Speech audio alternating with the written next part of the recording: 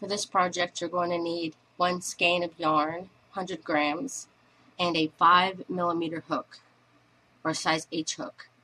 And this is regular worsted weight yarn that you'll need. This is a little bit thicker, but for this project, you're going to need uh, regular worsted weight yarn. 4 ply for the US, 10 ply for Australia. So what you need to do to start off is to chain 70. So chain 70 loosely, don't uh, don't make it so tight. And like I said, this yarn I'm using is a bit thicker, but it's just in hopes that you can see the stitches and everything better.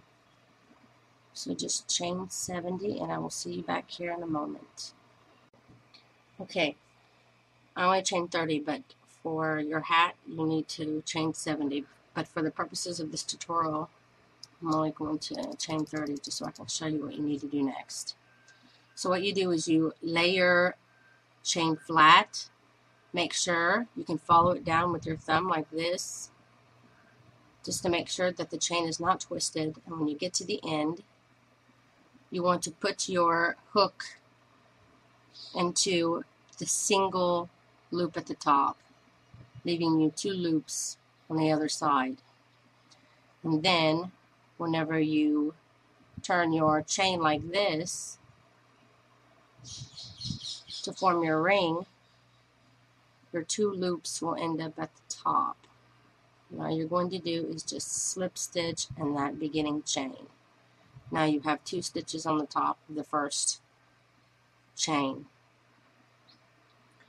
Now, for the next is you want a single crochet in the stitch to the left, or if you're left-handed to the right, of the beginning stitch. So just next to, you'll go under the top loop only, and you'll single crochet. And I'm going to hide my tail as I go.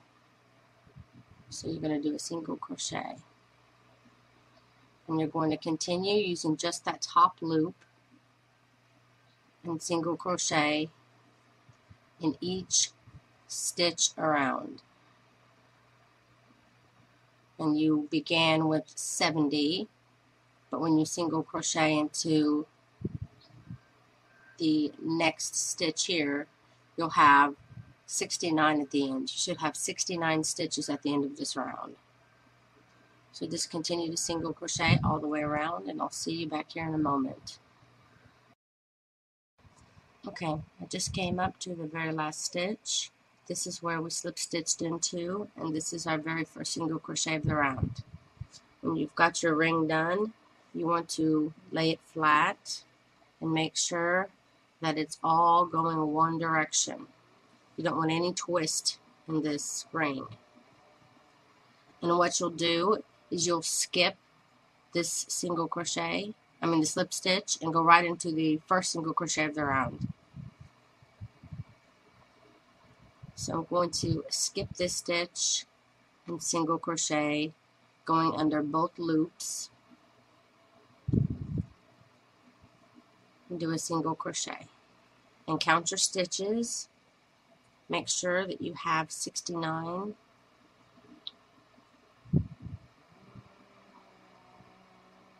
I'm going to place my marker, marking the beginning of my round, my very first stitch of the round. So for round two of our rim, you want to single crochet into the first seven, and you single crochet in your first single crochet of the round, so that's one, two, three, four, five, six, and seven.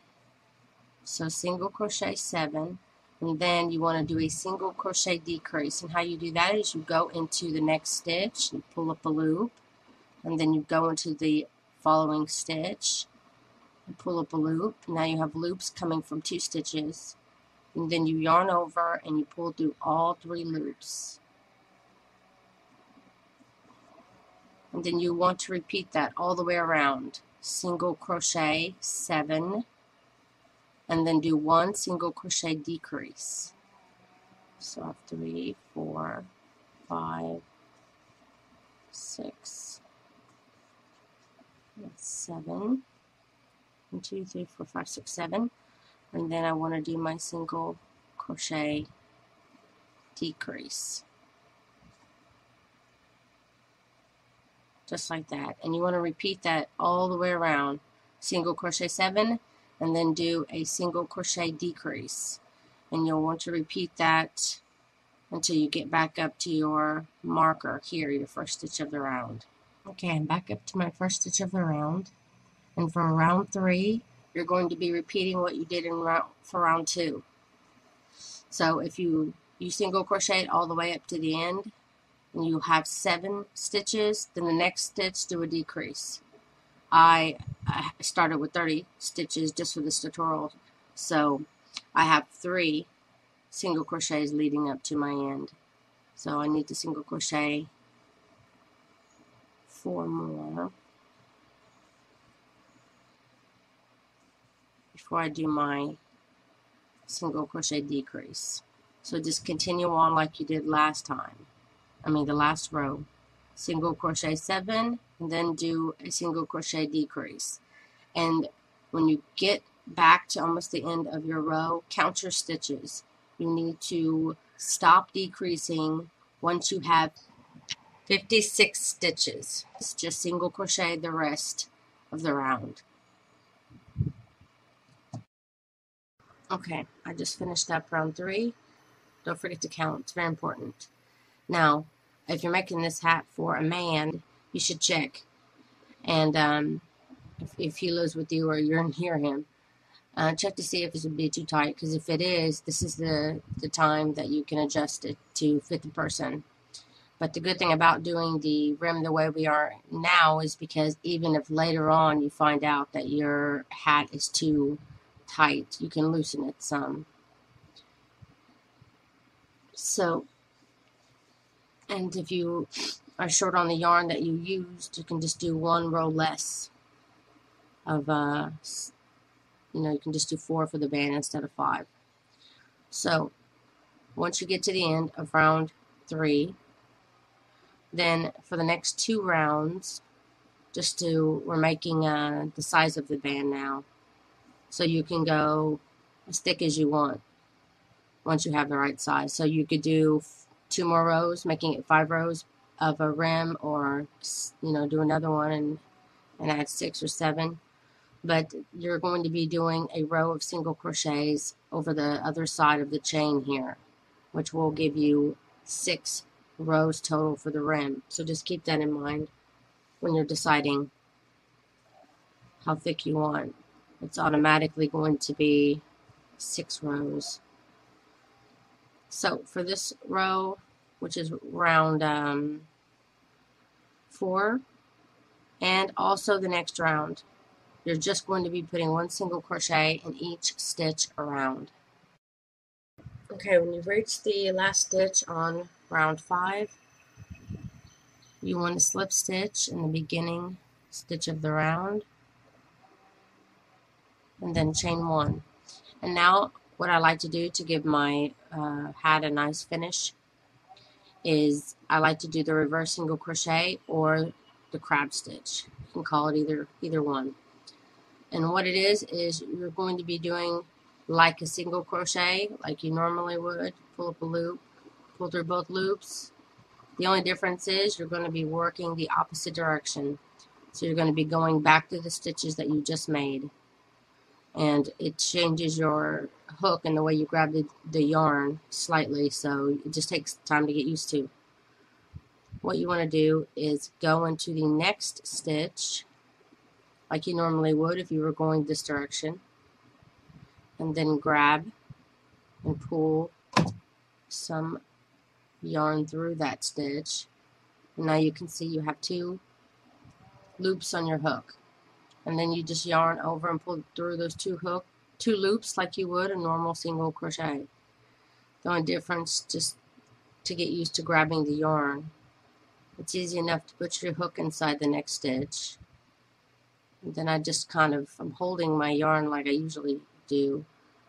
I just grab it to the side and pull it through. Just pull it up like this. And then pull through two. Do five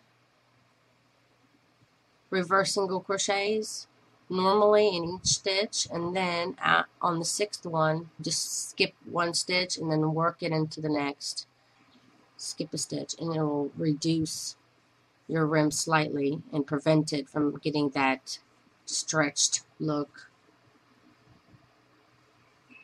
I just want to show you what the stitch looks like can see it has kind of a bumpy look going and this will be all the way around the hat. It'll give it a nice look so that you can't actually see the stitches anymore.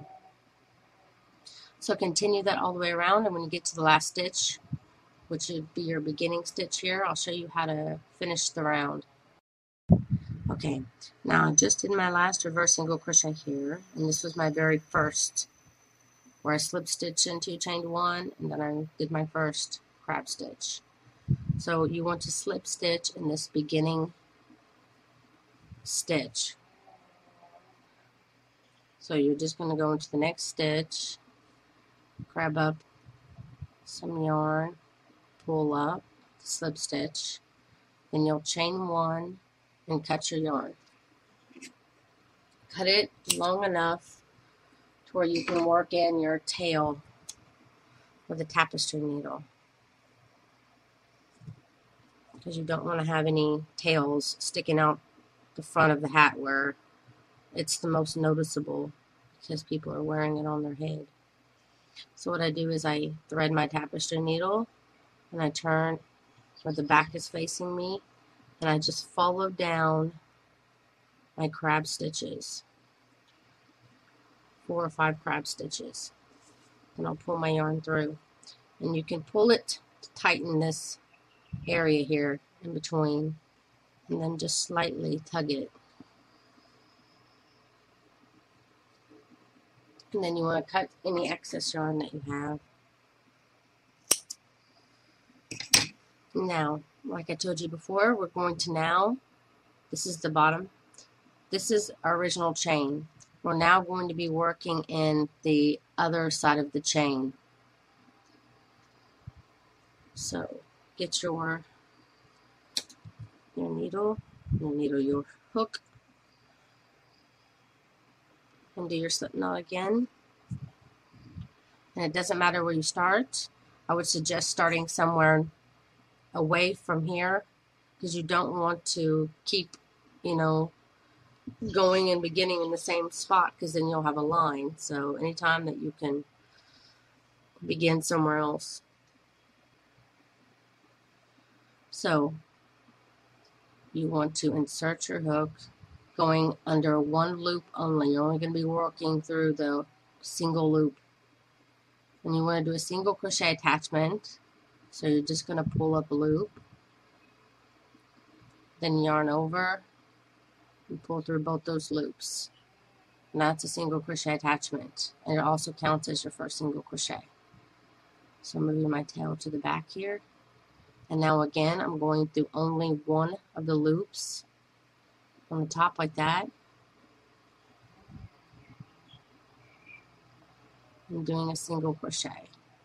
And you want to work one single crochet going through those top loops only all the way around.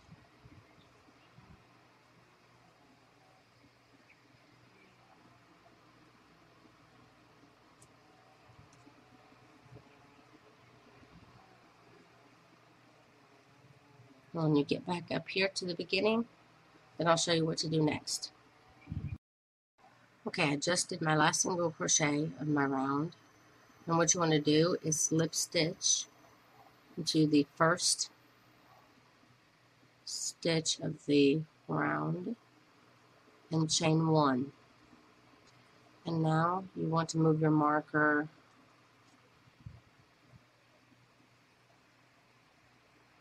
here to mark your place. Okay, I just finished my six rows, my band, Now I want to switch to my 5.5 millimeter hook or my size I hook. And I'm going to start my butterfly stitch. What you do is you go in through the next stitch, pull up a loop, go through one of the loops, then you go through the next stitch, pull up a loop, three loops on your hook, go through two, go through two. Essentially, you double crochet. And then you chain one, you go in through the next, you essentially chain one using half the stitch, then you go in through the next, and you double crochet. Then you chain one. Always make sure you chain one after. If not, then you would be decreasing. So go into the next stitch, pull through one loop, go through the next stitch, three loops on the hook, go through two, go through two, then chain one. And that completes your butterfly stitch. And continue to do that all the way around until you get back to the beginning. I wanted to show you real quick a new way to end the round. What you want to do is go into the very last stitch of the round like you normally would, but we're also going to be using the long stitch on the end.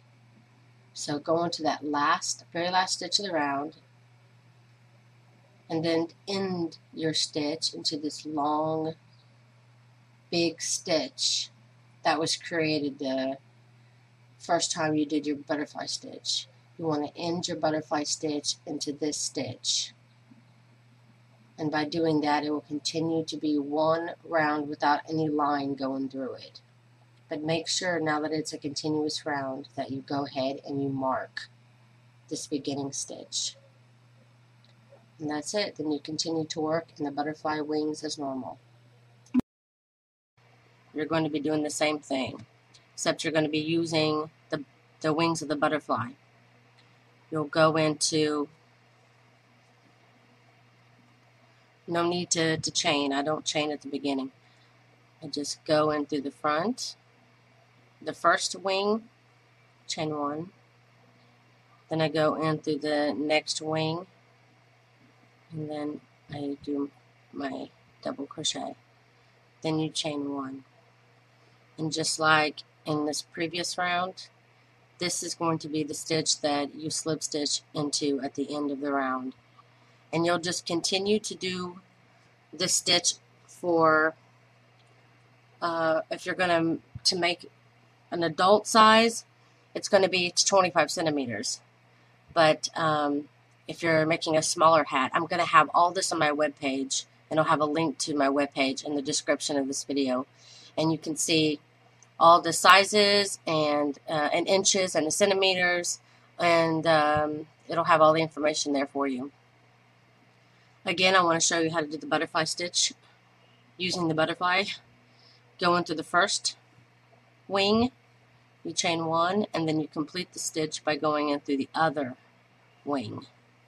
Do a double crochet, chain one, and then just continue to do it. And every round, you slip stitch at the beginning and continue on and I'm going to be doing this until it reaches 25 centimeters and I believe that's 17 inches. I'm not 100% but um, you can always easily find out and I can check it out and when I come back I'll tell you in, in, in inches as well. Okay, real quick, I looked it up. 25 centimeters uh, in inches is 9.8, so it'll be 10 inches. So when you get this to 10 inches, then I'll come back and I'll show you how to, to close off your hat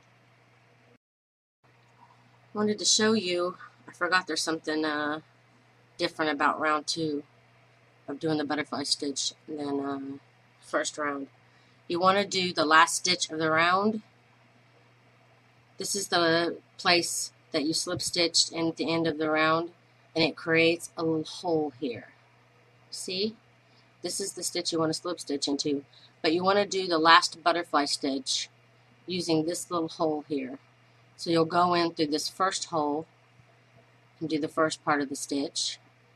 And then you want to go into this little hole here, pull up a loop, and finish the stitch with that one. Chain one, and then you slip stitch into that beginning stitch. And you'll do that for every round every end of the round. Okay I just got done with my 25 centimeters or 10 inches. And now I want to show you how to finish the hat. Once you get to the end of the row like I did here you want to go ahead and start single, single crocheting in each stitch.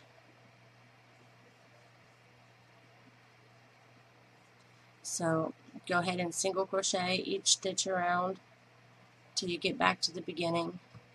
And I'm going to go ahead and move my marker here from the bottom to the top.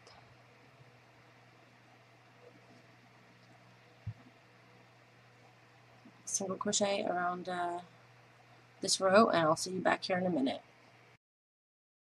I just got to the end of my row and now for this next round I want you to go through each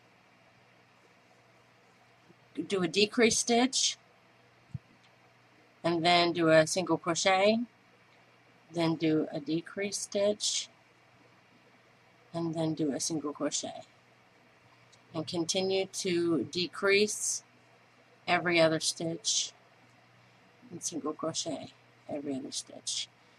And I'll see you back here. Okay I'm at the end of my decrease round. And for the next two rounds just single crochet in each stitch around. And then after that do another decrease round so single crochet, all stitches around for two rows, and then I'll see you back here. Okay, I just finished my two rows of single crochet, and again, you want to do a row of decrease. Do the one decrease stitch, one single crochet. And then after this decrease stitch, um, decrease row, do a row of of single crochet. Okay, I did my decrease round and my round of single crochet. And now I'm going to go ahead and do one more round of single crochet. And then I'm going to show you how to finish up this hat.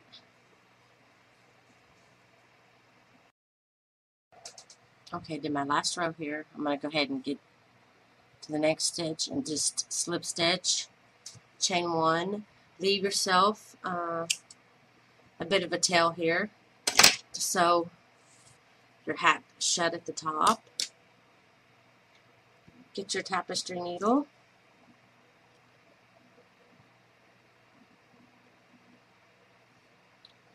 And what I do is I'll, like you're making a pull string, you go in through one, then you go back through the next stitch and then back through the stitch and then into the next stitch.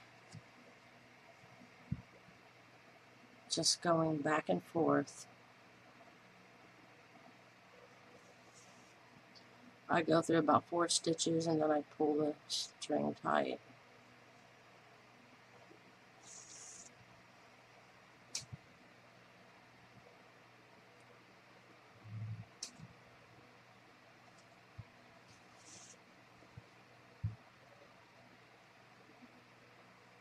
And if you guys have made one of these hats, I would love to see it on my blog.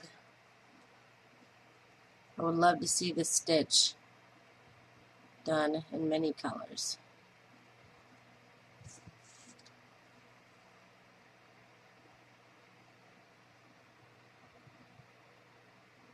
I did end up discovering how to make a, a beanie I haven't perfected it yet, but as soon as I do, I'll finish the pattern and get a tutorial out to you guys.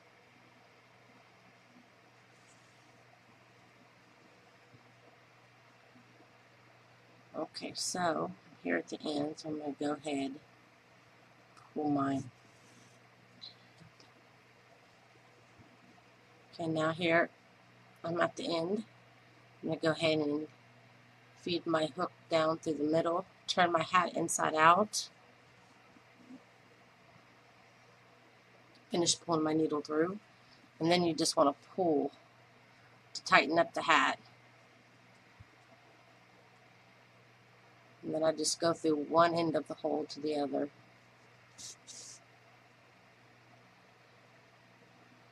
Pull through until you have a little bit of a loop left. Put your needle through it and pull tight and it's going to create a, a knot.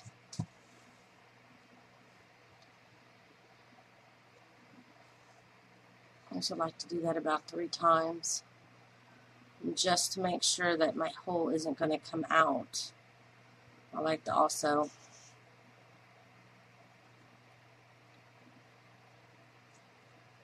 actually tie a few knots into my hat. What I do is I'll just pull and just use this loop to just tie a knot or two in there because you really don't want your hat to come loose.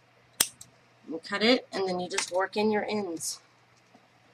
And that's it. That's how you make your your butterfly slouch hat.